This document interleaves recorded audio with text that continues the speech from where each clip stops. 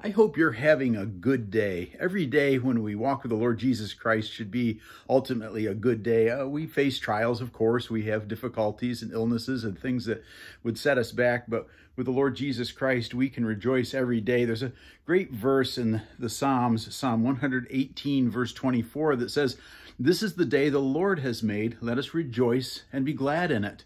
And that's a great instruction for us. It's a great celebration of the fact that we can actually rejoice even in the most difficult of days because each day is a gift from God. It's something that the Lord has given to us. And so when we face each day, we should be able to acknowledge that God is in our day. He is working in us and through us, and we can trust Him to give us joy in the midst of whatever is taking place in that day.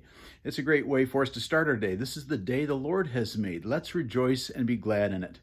Now, if we went a little wider in the context of this particular psalm, we discovered that this psalm was written about the celebration of the arrival of the Messiah, and it has to do with the, the foreshadowing of Jesus' triumphal entry into Jerusalem. The, the stone the builders rejected has become the cornerstone, that is to say, that the one that was uh, considered of no value, Jesus, actually became our Savior. He is our Messiah, He is our Savior, He's our Lord, He's our God. And so, in that context, it says we should rejoice and be glad because this day, the day of the celebration of Jesus Christ, is what gives us joy. So we understand in our faith that joy comes through a relationship with Jesus Christ.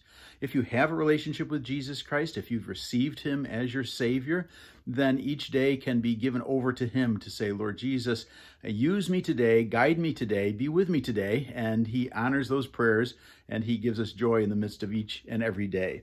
So I trust that you're finding the Lord's strength today, that you're trusting in him and rejoicing in the day that God has given to you. Thanks for taking time to join me for this pastoral visit.